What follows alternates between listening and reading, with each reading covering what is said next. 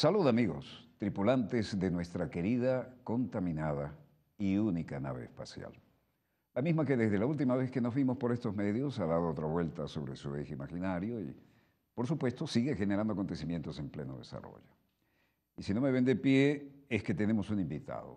Y el invitado de hoy es importante y tenemos una posibilidad interesante de enfoques diverso a lo habitual, porque tiene enfoques muy personales, y ya verán por qué. Señor director, mostremos a nuestro invitado.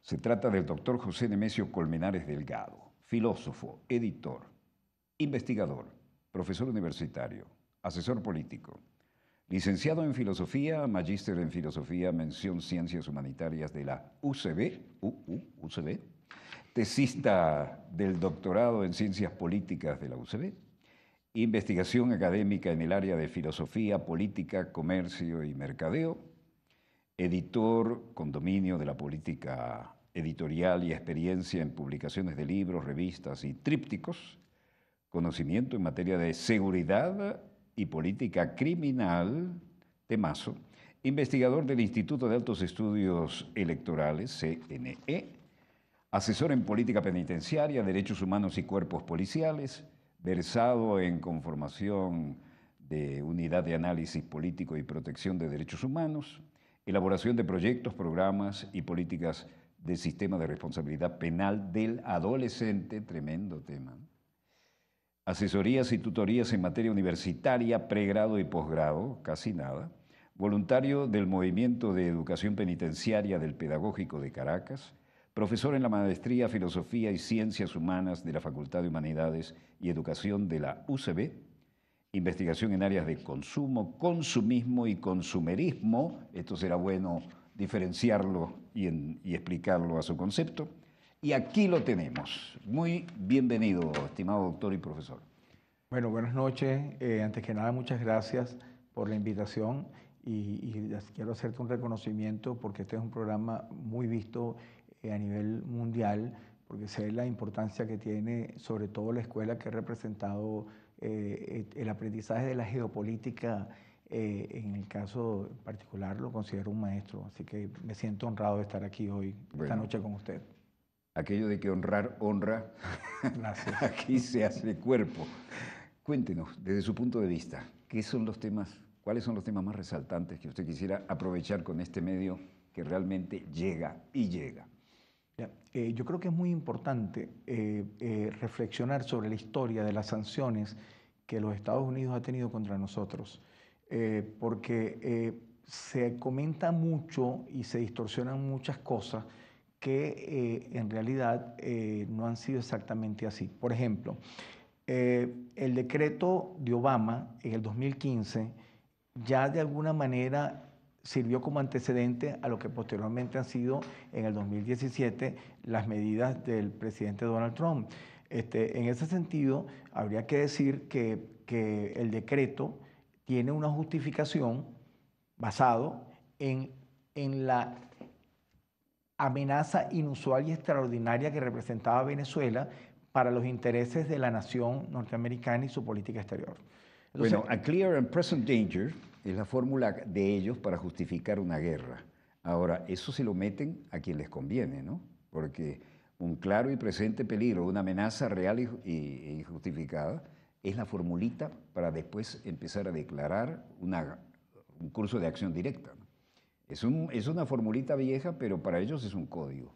Claro, yo, creo que detrás está la doctrina de la seguridad nacional y las operaciones de contrainsurgencia y han buscado de alguna manera criminalizar al gobierno bolivariano de Venezuela, porque este, eh, de alguna forma está detrás lo que hoy en día llaman el laufer, que es la persecución judicial y mediática donde se criminalizan las posturas de izquierda en América Latina en general. Lo estamos viendo con Correa, lo estamos viendo con Cristina Kirchner, este, lo estamos viendo con el propio Evo, etcétera. Es decir, hay una necesidad de, este, de hacer lo que llama un asesinato moral, es decir, Incluso de el desacreditar. Último, el, último nacionalista, general nacionalista en Panamá, ¿no? Exacto.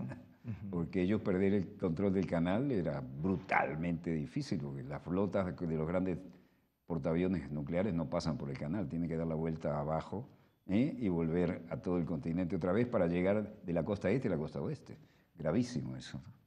Sin duda. Adelante, disculpe. Entonces, este, yo creo que desde la justificación uno observa que hay un tema que tiene que ver incluso con la razón de Estado, es decir, con los intereses del Estado norteamericano, pero que nunca se justificaría este, una sanción unilateral de las dimensiones y del alcance que ha tenido estas sanciones desde el, año 2015, formales, este, y esta persecución, este asedio a la economía y al bienestar de la población venezolana.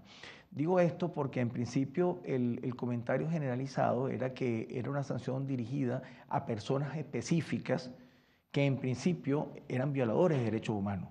Ahora, resulta que cuando uno revisa el alcance del decreto, uno se da cuenta que el alcance es a personas naturales y jurídicas, personas privadas y públicas, personas individuales y colectivas. a lo que le convenga, según las circunstancias. Cuando uno revisa el lenguaje, el lenguaje es ambiguo, el lenguaje es contradictorio, el lenguaje es equívoco. ¿Y por qué? Porque de alguna manera eso le permite a, la, racionalidad discursiva del decreto, le permite establecer confusiones y arbitrariedades.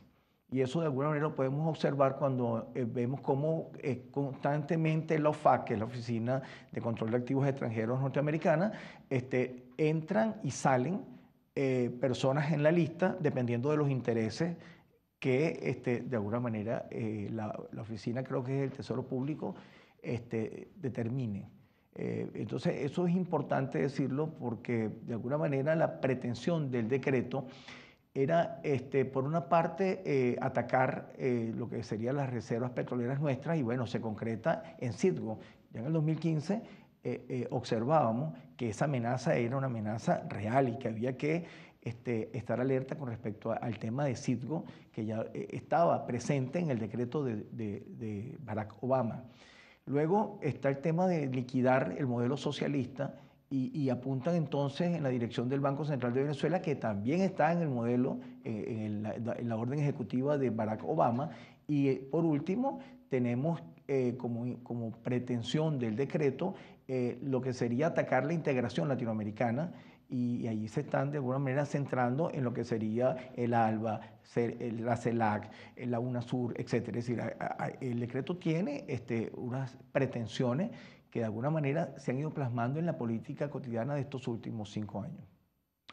Ese Obama actuando así, ¿qué quería? ¿Quitarse de encima un viejo estereotipo de tío Tom?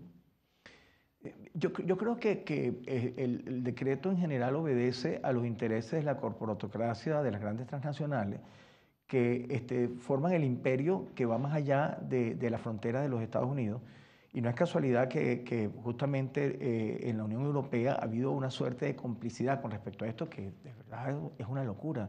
Este, Venezuela ha sido un país de fronteras abiertas, donde, bueno, acá todo el mundo sabe cómo este, migraron los italianos, los españoles, los, portugueses, etcétera, las colonias en general. Entonces, este, eh, eh, es lamentable que por los intereses económicos de estas empresas transnacionales tan poderosas, este, se, ha tomado la decisión de cercar, de asediar la economía venezolana, porque de alguna forma este, e, era la forma de atacar eh, eh, la revolución bolivariana sin, este, sin, sin disparar un tiro, es decir, es una forma de guerra híbrida, es una forma de guerra simétrica, es una forma de guerra no convencional.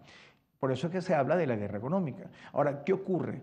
que este, yo creo que la, experiencia en cuanto a, generar un conflicto en la región este, eh, para los norteamericanos no es fácil, y sobre todo en este contexto menos, porque con la alianza que tiene el gobierno venezolano con el gobierno ruso, este, lo que es el Tratado de Asistencia eh, en materia eh, armamentista, yo creo que es muy importante que este, los norteamericanos no puedan generar esa, esa relación de conflicto porque les crearía un, conflicto mayor en la región y permitiría la entrada de los rusos eh, eh, eh, en, las inmediaciones, en lo que llaman ellos el patio trasero de, de, aquella concepción de Monroe de la América para los americanos, que son ellos supuestamente los únicos. además hemos pasado en materia de inversión en armamento que una potencia petrolera tiene que tenerlo, además con los vecinitos que tenemos, ¿no? con, que se han bajado los pantalones con siete bases gringas, después nueve y después ceder la soberanía del espacio aéreo, marítimo y terrestre, ¿eh? los hermanitos colombianos, listos para hacer el portaaviones para el ataque cuando llegue el momento. El traidor Santander sigue galopando, ¿no? Pero además nosotros pasamos del F-16 al Sujoy y eso le duele en el alma, no solo en el bolsillo, a los que tenían controlado la venta de armamentos de primera categoría para Venezuela, ¿no? Ciertamente la, la, la posibilidades ahorita de generar un conflicto en Venezuela serían nefastas, sobre todo para eh, el hermano país, porque lo siento por la población colombiana, ya sabemos que aquí hay más de 5 millones de colombianos que han eh, hecho vida, que, que, que, son hermanos, que, que, están entre nosotros, y, y, es lamentable que un gobierno eh, como el de Duque se haya prestado para que nueve bases estén permanentemente en, en Colombia con la excusa supuestamente de combatir el narcotráfico. Un país Entonces, hijo de Bolívar haciendo eso es una cosa contra natura. ¿no? Es correcto. Sí, este, yo creo que, que, hay elementos de lo que podríamos llamar las economías ilícitas eh, que quizás también son muros de contención. Es decir, yo en lo particular creo que hay intereses de la, de la oligarquía colombiana eh, vinculada al narcotráfico que de alguna manera no les convendría un conflicto entre Colombia y Venezuela. Y, y por supuesto eso se generaría en caso de un ataque de, de, Estados Unidos hacia Venezuela, cosa que no quiere, no, no, quiere nadie en este país, no queremos nosotros. Nosotros tenemos más bien como venezolanos una cultura de paz y, justamente revisando los... Y siete... de solidaridad probada, histórica.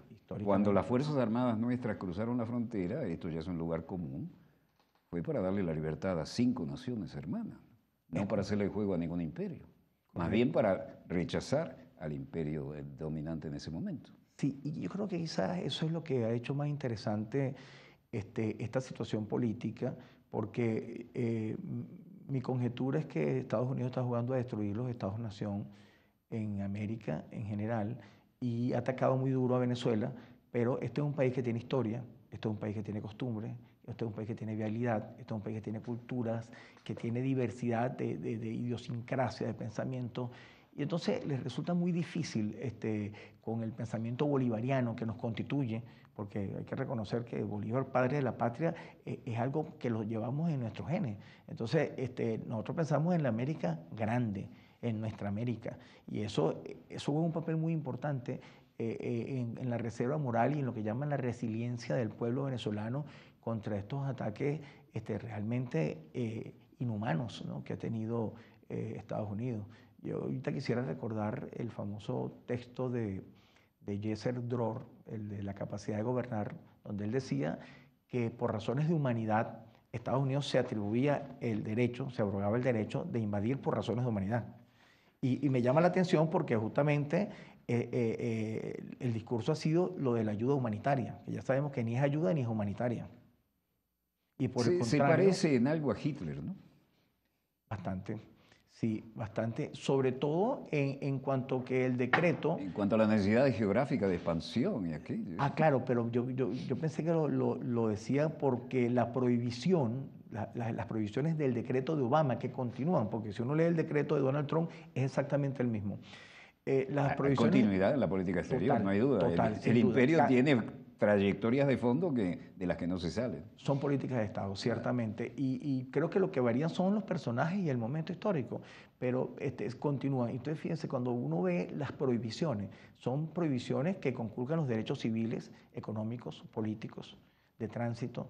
Y algo muy importante, el debido proceso y el derecho a la defensa que son fundamentales en cualquier parte del mundo, pero no solamente eso, con este decreto en contra de los venezolanos, nos niegan el derecho a tener derechos, porque el decreto expresamente eh, plantea que no habrá posibilidad de querellarse con, con, el Estado, con el gobierno norteamericano eh, eh en, esta decisión tomada, porque lo que ellos alegan es que, bueno, cuando, hubo el famoso ataque de, de las Torres Gemelas, a partir de allí ellos generaron una, una guerra simétrica y entonces asumieron que, que cualquiera era sospechoso de terrorista y entonces el calificativo de terrorismo, que es muy peligroso, que busca criminalizar la diferencia, la discrepancia de los diferentes regímenes políticos que hay en el mundo entero, Eh, eh, a partir de allí, ellos consideran que, bueno, con su ley de emergencia pueden perfectamente este, convertir en no persona a, los que ellos consideran sus adversarios.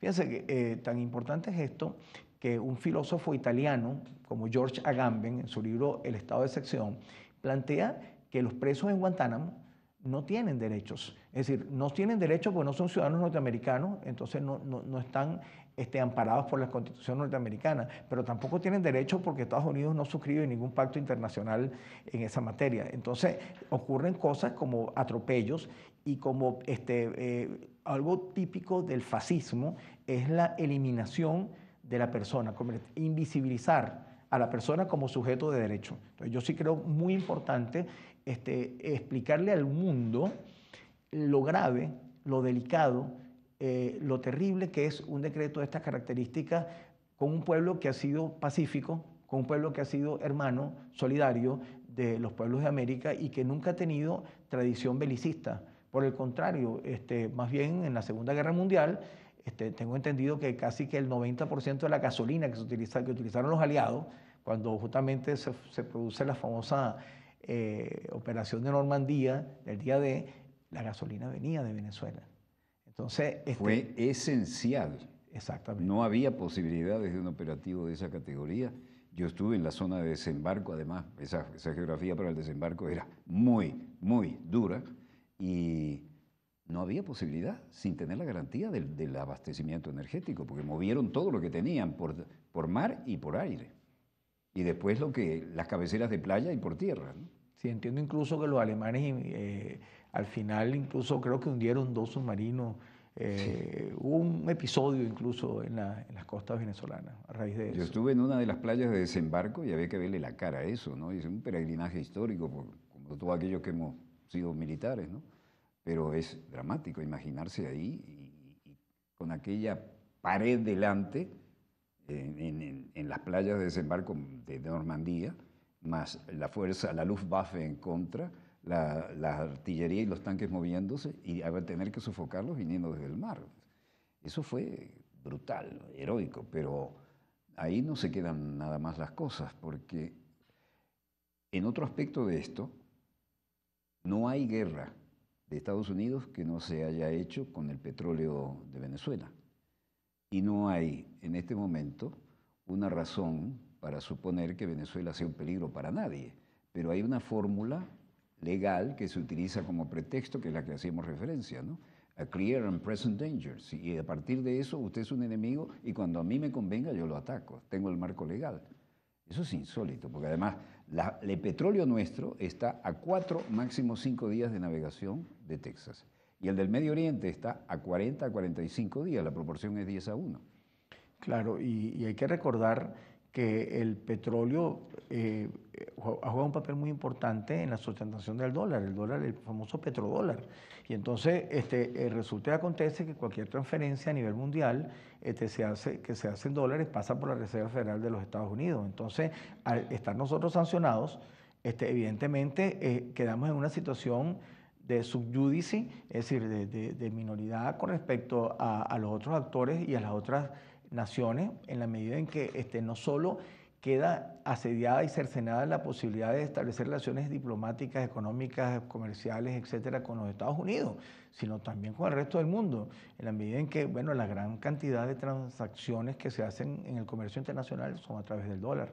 Claro, yo creo que esto nos ha ofrecido a nosotros una oportunidad de descubrir nuevos aliados que ya de alguna manera se venían gestando esas alianzas con el mundo árabe, con, con los rusos, con los chinos, y en general con la India, con países que han sido víctimas de, la, precisamente de, los, de, las sanciones.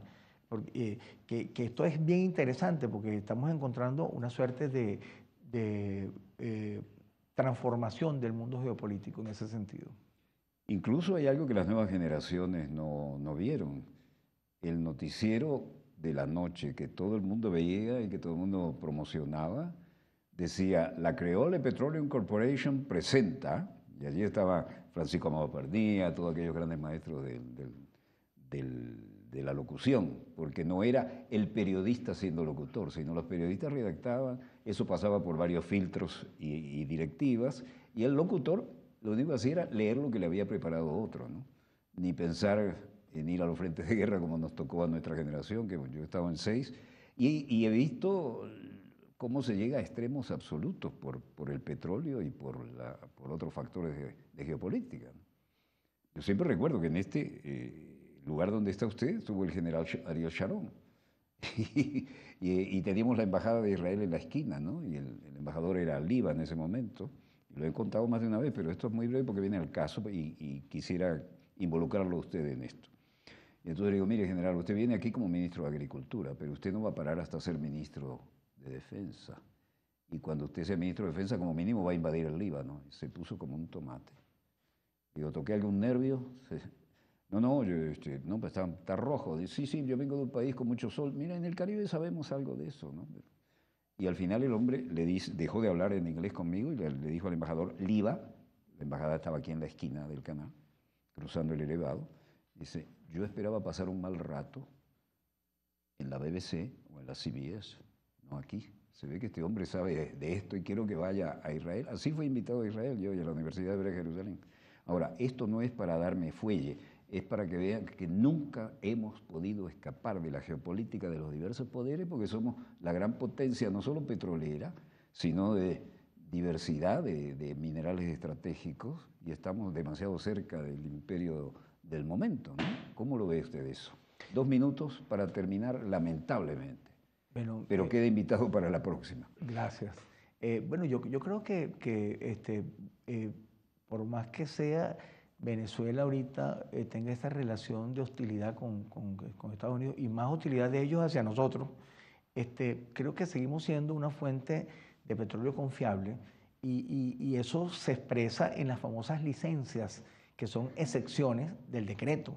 Y ya sabemos que se han prolongado las licencias. Es decir, aquí hay producción de petróleo por parte de Chevron y otras empresas norteamericanas que quedan exceptuadas. Y recientemente entiendo que eh, eh, hicieron una suerte de excepción también para permitir que el Banco Central de Venezuela precisamente pueda, pueda cancelar eh, esos pagos. Y, ahí hay una relación comercial permitida, claro, siempre en función de los intereses del, del imperio norteamericano y además de una hipocresía galopante.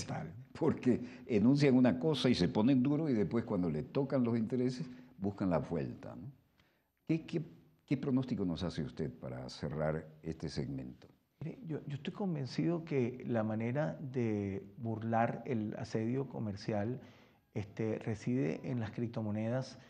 Eh, yo tengo esperanza. Estamos navegando ya en eso. Que, estamos comenzando eh, a generar una cultura financiera de la criptomoneda y estoy convencido que el petro puede ser una gran solución para evadir esta, este asedio que tiene que ver con, con, esa forma de alterar el precio del dólar y cómo de alguna manera este, el dólar sirve como marcador para generar una hiperinflación inducida. Entonces yo, yo veo este, eh, eh, realmente como, como una opción esta alianza con China en particular, que creo que el mundo va hacia allá. Yo creo que eh, la bolsa de Nueva York va a dar paso a la bolsa de Shanghái. Es decir, el mundo va hacia allá.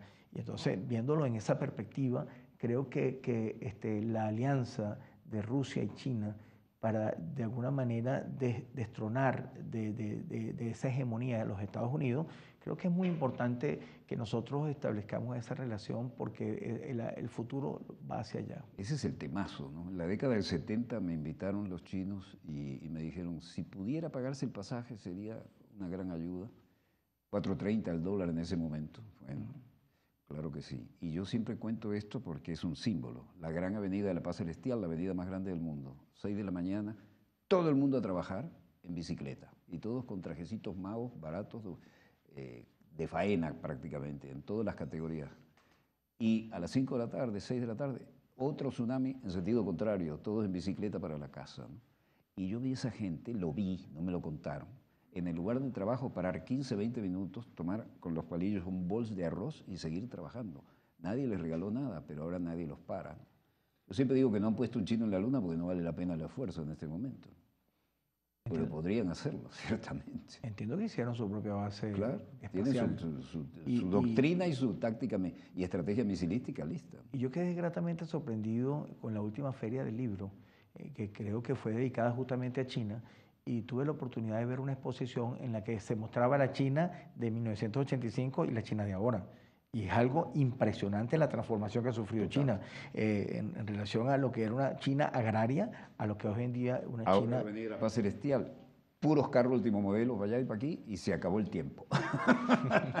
Un breve corte y volvemos con más acontecimientos en pleno desarrollo. Muy agradecido con su presencia y lo invito para oportunidades con mayor tiempo de despliegue. En su caso, este, nos sentimos muy honrados. Y esto que tenemos acá, ¿vincula de alguna manera eh, su posición o, todavía no nos trajo ninguno de sus libros?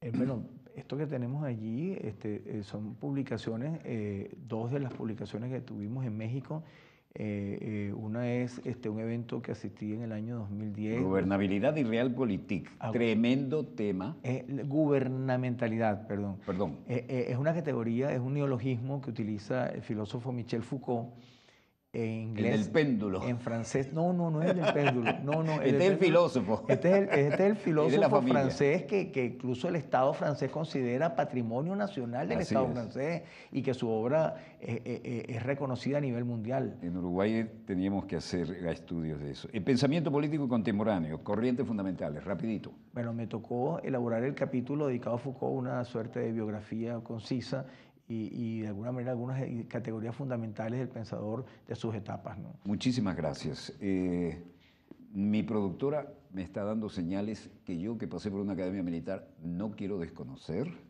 Le agradezco su presencia aquí y está invitado a futuro para cualquier oportunidad en que podamos ser útiles en la difusión de sus conocimientos. Muchísimas gracias. Breve corte y volvemos con más acontecimientos en pleno desarrollo. Señor director. Donde quiera que se encuentren de ese lado del receptor, gracias por permitirnos estar allí con ustedes. El energúmeno de la Casa Blanca sigue siendo noticia y quiere, en su fuero interno, ser comandante en jefe en algún conflicto y vaya que lo va a generar. Pero cualquiera sea el caso, ya sabemos por qué, y hay que repetirlo a náusea.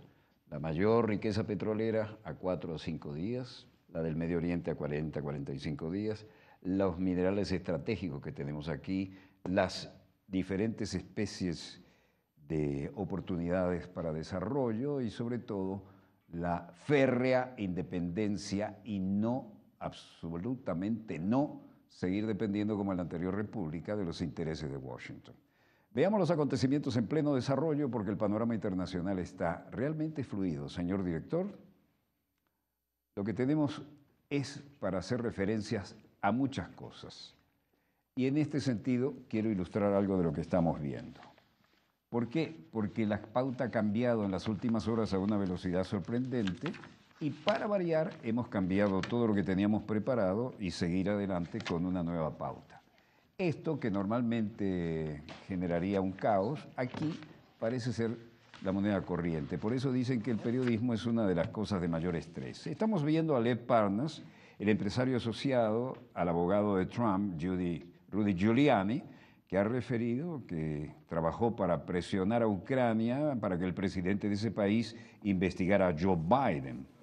Y Parnas, hablando con los reporteros, dice, mientras esté con ellos será genial, si vas contra ellos te atacarán.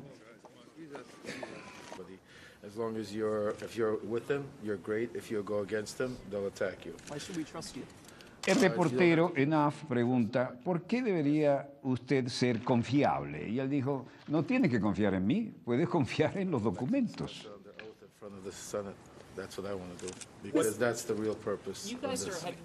Y Lev Partners, asociado a Rudy Giuliani, dice, me gustaría discutir bajo juramento en el Senado. Eso es lo que quiero hacer porque ese es el verdadero propósito de esto multitud en los alrededores, ¿no? Led Partner dice, Lindsey Graham sabe mucho más de lo que está dispuesto a decir y por eso se apresura a superar esto y quiere cerrar esto rápidamente. Y luego Led Partner dice, creo que el viernes habremos tenido un juicio real. Si esto fuese solo un ejercicio, valdría la pena. La razón es que vine con mi equipo legal para poner un poco más de presión y decir que estamos aquí y estamos listos a testificar.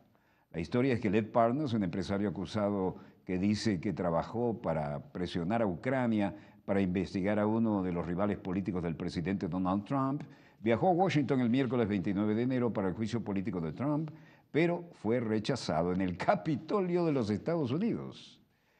Eh, Chuck Schumer, líder demócrata de la minoría del Senado en Estados Unidos, dijo ayer, miércoles 29 de enero, que sin la declaración de testigos, el juicio político del presidente de Estados Unidos, Donald Trump, sería una farsa. El Senado se acerca a una votación crucial acerca de si escuchar o no los testigos solicitados por los demócratas del Senado, quienes defienden la destitución de Donald Trump. El líder democrático de la minoría, Chuck Schumer, y otro de los demócratas del Senado, se vean aquí caminando hacia el podio, y Chuck Schumer dice, es una pelea cuesta arriba, como siempre he dicho.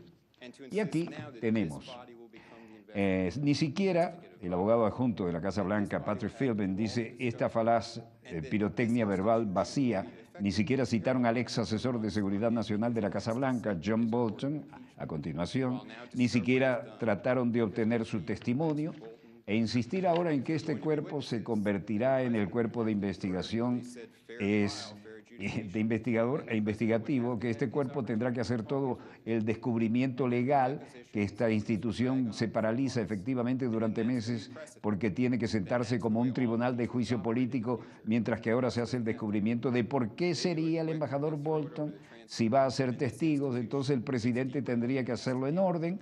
Dijeron juicio justo y judicación justa. Entonces el presidente tendría que tener la oportunidad de llamar a sus testigos y habría declaraciones y esto se prolongaría durante meses y entonces será el nuevo precedente y entonces esa es la forma en que funcionarán todas las instituciones en el futuro. Bueno, John Roberts Lee, en voz alta, dice una pregunta que los senadores presentaron por escrito y en la que piden que el ex asesor de seguridad nacional de Trump, John Bolton, testifique citando un tuit del presidente Trump. Senadores, la propuesta es así, por supuesto. Uh, Habla Adam Schiff, fiscal y representante de el demócrata responde. Bueno, pedimos a Bolton que testificara en la Cámara y él se negó. Le pedimos al asistente doctor Charles Cooperman que testificara y él se negó. Afortunadamente le pedimos a la adjunta de ellos, la doctora Fiona Hill, que testificara y sí lo hizo. Le pedimos al teniente coronel Alexander Vindman que testificara y también lo hizo. Pero buscamos el testimonio de John Bolton y del doctor Cooperman y ellos ambos se negaron se citó al doctor Cooperman y nos demandó, nos llevó a la corte.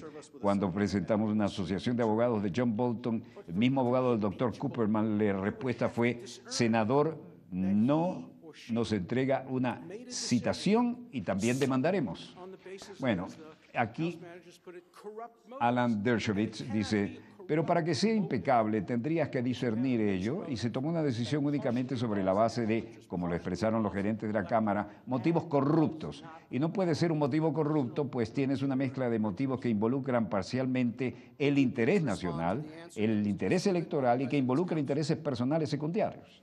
Bueno, aquí viene Robert Lee, preguntas al senador, respondería de la siguiente manera, Adam Schiff, la acusación principal, Adam Schiff responde, estaría encantado de responder. Hay dos argumentos que el profesor Bershowitz. Uno es, tengo que decir que es un argumento muy extraño para un abogado defensor penal y es muy inusual tener una discusión en juicio sobre el estado mental, intención o mens rea del acusado. En todas las salas de tribunales de Estados Unidos, entre todos los casos penales y en casi todos los casos penales, excepto una astillita muy pequeña, existe una responsabilidad estricta, la cuestión de la intención y el estado mental del acusado, que siempre es un problema. Así que esto no es nada novedoso aquí, no requiere un lector de pensamientos. En cada caso criminal, y supongo que en cada caso de juicio político, sí tiene que demostrar que el presidente estaba operando con un motivo corrupto y sí lo hemos demostrado. El juez principal John Roberts, leyendo la pregunta del senador, aborda el argumento del abogado del presidente que los gerentes y tratan de voltear. Bueno, aquí Adam Schiff dice, el argumento del abogado es, bueno, si destituyes a un presidente, estás volcando los resultados en las últimas elecciones y estás destrozando la papeleta en las próximas elecciones. Bien, si este fuera el caso, no habría una cláusula de juicio político en la Constitución de Estados Unidos. Porque, por definición, si estás acusando a un presidente, ese presidente está en el cargo, ha ganado una elección. Claramente ese no es lo que los fundadores de la Constitución tenían en mente. Lo que tenían en mente es que si el presidente comete crímenes y delitos menores, deben destituirlo de su cargo.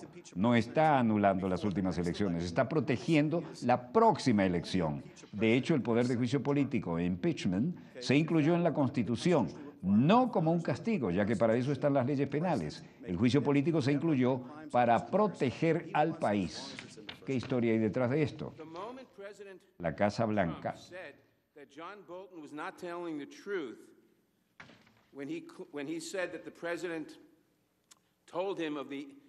Fiscal representante demócrata de la Casa Jerry Nadler dice, en este momento el presidente Trump dijo que John Bolton no estaba diciendo la verdad cuando dijo que el presidente le habló de quid quo inapropiado, renunció a cualquier privilegio ejecutivo y pudo que pudiera haber existido. No puede caracterizar una conversación y ponerla en práctica del dominio público y luego reclamar el privilegio ejecutivo en su contra.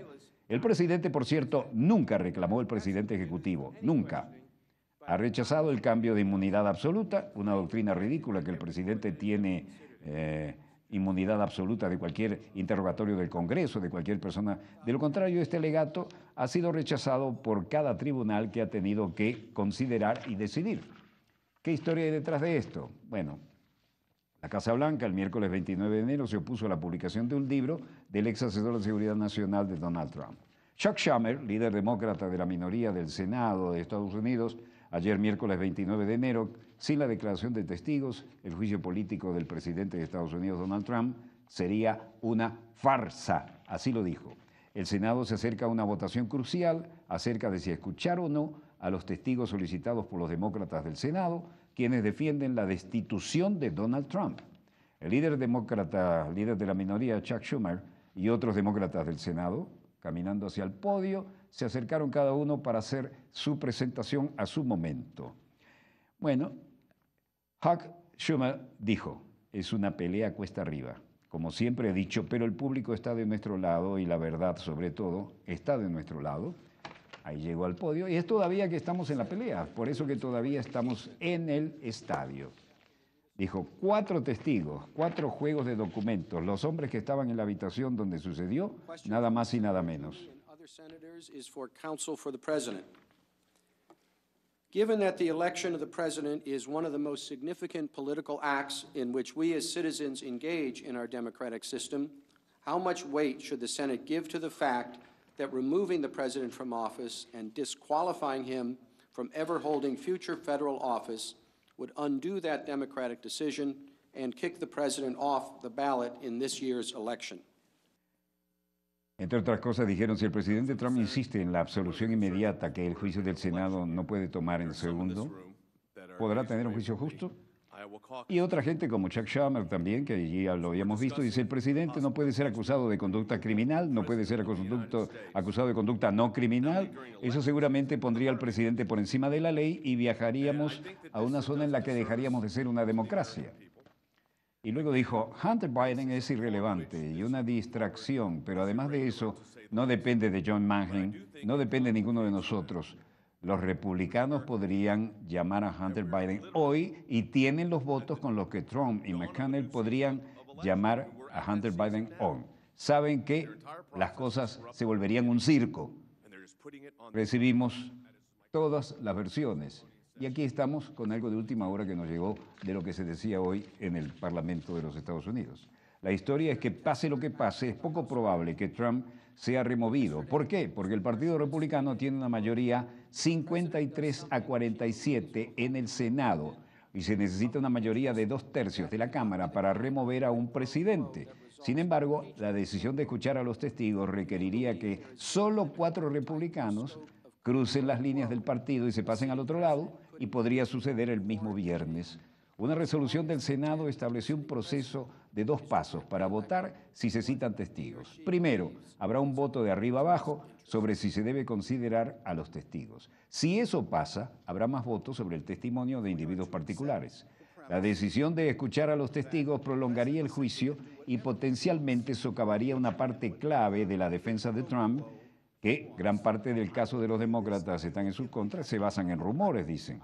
Un testigo buscado por los demócratas, el ex asesor de seguridad nacional de Trump, John Bolton, dice en un libro nuevo, pero aún no publicado, que Trump le dijo que la congelación de un ayudante a Ucrania estaba vinculada con su presión para que el país investigue al ex vicepresidente Joe Biden y su hijo Hunter Biden, según el informe del New York Times, nada menos.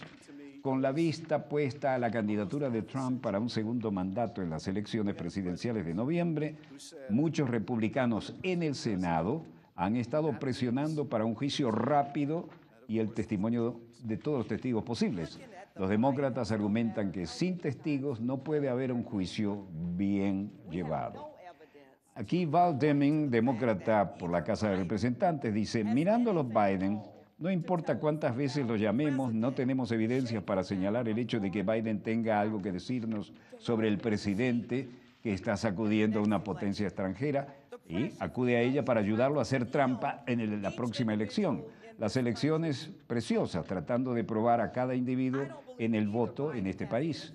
No creo que Biden tenga ninguna información sobre eso, pero déjame decirte que creo que sí. Tal vez deberíamos llamar al embajador John Bolt. Si hablamos en serio sobre la verdad, tal vez deberíamos llamarlo porque tenemos una buena idea de lo que podría decir. ¿Qué pasa con el señor Mick Mulvaney, que tuvo contacto diario con el sujeto de nuestra investigación, el presidente de Estados Unidos? ¿Eso no es lo suficientemente bueno? Y luego John Roberts, juez principal de la Corte Suprema de Estados Unidos, refiere a pregunta hecha por el senador Rand Paul de Kentucky y dice, este tribunal se niega a leer la pregunta tal como fue presentada. El senador Rand Paul procede a protestar en una rueda de prensa. Como habrán notado, tuvimos algo ligeramente atípico abajo. Hace una pregunta y la pregunta fue rechazada. Ahora se ha informado que estas preguntas son sobre esto o aquello y se ha rechazado por una razón u otra. Puedo decirles que mi pregunta no hizo referencia a ningún denunciante ni a cualquier tipo de persona o una queja de un denunciante. Bueno, Chuck Schumer, líder demócrata de la minoría del Senado de Estados Unidos, dijo ayer miércoles que sin la declaración de testigos del juicio político al presidente Donald Trump sería una farsa, textualmente. El Senado se acerca a una votación crucial acerca de si escuchar o no a los testigos solicitados por los demócratas del Senado, quienes defienden la destitución de Donald Trump. Y el líder democrático de la minoría, Chuck Schumer, y otros demócratas del Senado, estuvieron ahí moviéndose en materia de lobby, de contactos y de presiones, y luego caminaron hacia el podio y Chuck Schumer fue quien abrió el fuego y dijo, esta, ahí los ven, acomodándose para la transmisión, porque evidentemente esto sale en todos los medios. Es una pelea cuesta arriba, como siempre he dicho, pero el público está de nuestro lado y la verdad, sobre todo, está de nuestro lado. Y es por eso que todavía estamos en la pelea, es por eso que todavía estamos en el estadio. Luego dicen, cuatro testigos cuatro juegos de documentos, los hombres que estaban en la habitación donde sucedió, nada más, nada menos. Y agrega, ¿es el presidente Trump tan insistente en la absolución inmediata que el juicio del Senado no pueda tomar un segundo más para tener un juicio justo? Si el presidente no puede ser acusado de conducta criminal, no puede ser acusado por conducta no criminal, eso seguramente pondría al presidente por encima de la ley y dejaríamos de ser una democracia. Hunter Biden es irrelevante y una distracción, pero además de eso no depende Joe Manchin, no depende de ninguno de nosotros. Los republicanos podrían llamar a Hunter Biden hoy. Tiene los votos con los que Trump y McConnell podrían llamar a Hunter Biden hoy. ¿Qué pasa? No quieren. Saben que se convertiría la cosa en un circo. Y luego Chuck Schumer dice, recibimos pregunta, dos palabras, juicio justo, independientemente del resultado. Debería haber un juicio justo y durará, como Tim y Patty eludieron a él y a Bob Menéndez. Redundará en beneficio del Senado. Tenemos un juicio justo, cualquiera sea el resultado, voten o no.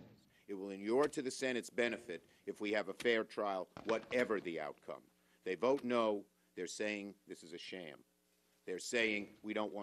Dicen que es una farsa, dicen que no queremos escuchar la verdad. ¿Qué es lo que dice Estados Unidos sobre este cuerpo, el Senado?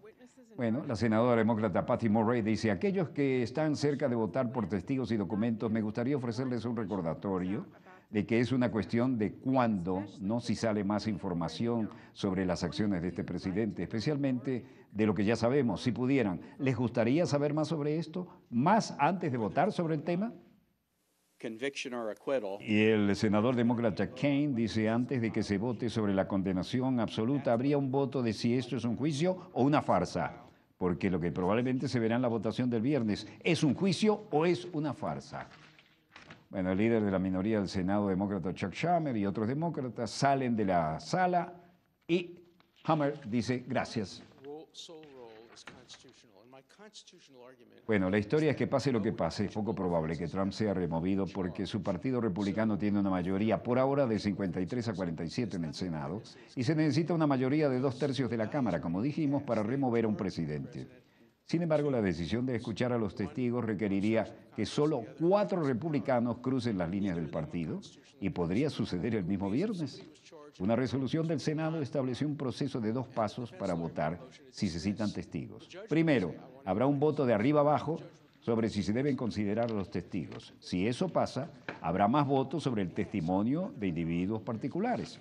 La decisión de escuchar a los testigos prolongaría el juicio y potencialmente socavaría una parte clave de la defensa de Trump, que gran parte del caso de los demócratas en su contra se basa en rumores. Un testigo buscado por los demócratas y el ex asesor de seguridad nacional de Trump, John Bolton, dice que un libro nuevo, pero que aún no publicado, que Trump le dijo a la congelación de un ayudante de Ucrania, estaba vinculada a su presión para que el país investigase al expresidente Joe Biden y su hijo.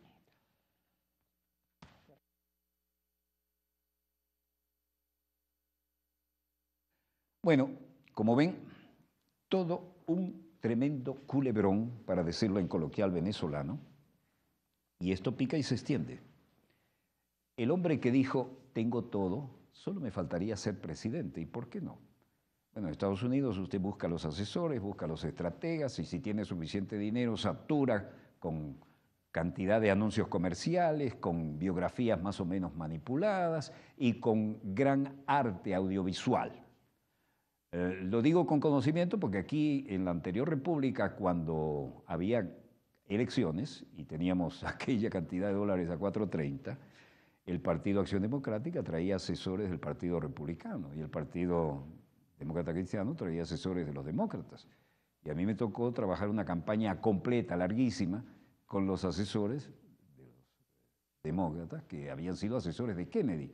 Les aseguro que es una experiencia que me ha colocado a una eh, distancia estelar de lo que yo sabía y de lo que ahora experimenté. Y eso queda aquí y eso sirve para el análisis, pero también sirve para dirigir campañas. Eso fue una experiencia inolvidable y se la debo a Venezuela. Bueno, donde quiera que se encuentren de ese lado del receptor, gracias por permitirnos estar allí con ustedes. Desde estudio 3 de Venezolana de Televisión, VTV, Víctor Tango Víctor, finaliza aquí Dossier, el programa decano en todo el hemisferio occidental de la información internacional vía satélite. Agradecemos la producción de la doctora Alida Sanoja Maneiro en este muy delicado tema y todos los otros que nos ha ayudado y los que nos tendrá que ayudar. Equipo a mi voz, ¿cómo quedó esto? Bien. ¿Cómo? Muy bien. Así es. Disponga usted de las cámaras, señor director.